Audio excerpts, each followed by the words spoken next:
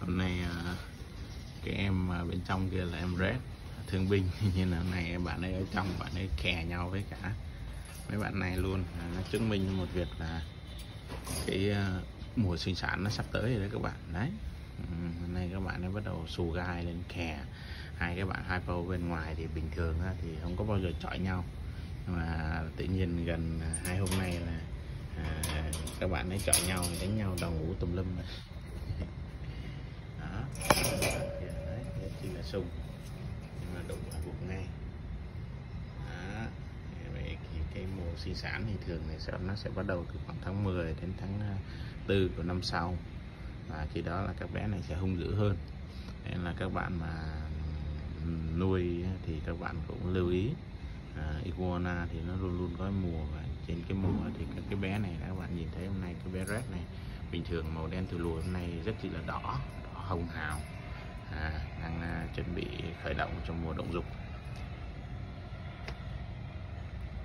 Đó à, mình nói thêm một chút xíu về cái mùa động dục thì à, nếu như các bạn chơi iguana thì các bạn sẽ phải phân biệt à, igu bao giờ nó cũng có một cái mùa mùa động dục. Và cái mùa đó thì à, các bé igu này nó rất chi là hung dữ nên là đặc biệt là những con đực thì các bạn cần phải lưu ý à, với những cái cái xanh lớn mà các bạn à, thuần chưa kỹ thì à, luôn luôn phải lưu ý.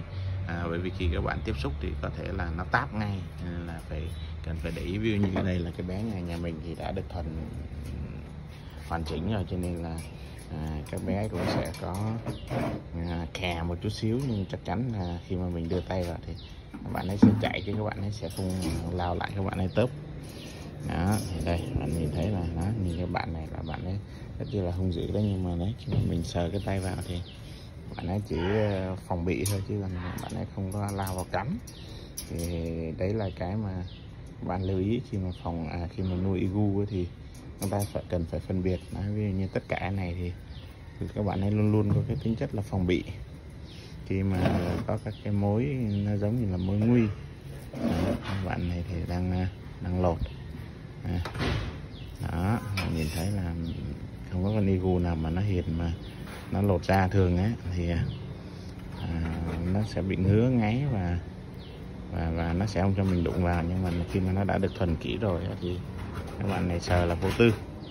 Đây là cái mùa hung dữ của igu thì các bạn lưu ý nhé khi mà con igu mà thấy nó sững cổ lên đụng vào nó nó nó nó sững người lên á, thì thì đó là các bạn biết được là nhất là vào cái thời điểm của tháng à, tháng à, 9 tháng 10 hàng năm đến à, à tháng 4 của năm sau.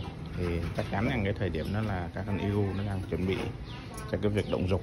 Như vậy thì thì đó nó sẽ phải à, kè để nó khẳng định cái lãnh thổ của nó để nó chuẩn bị nó nó, nó ờ, kêu gọi con cái nha rồi chúc các bạn may mắn.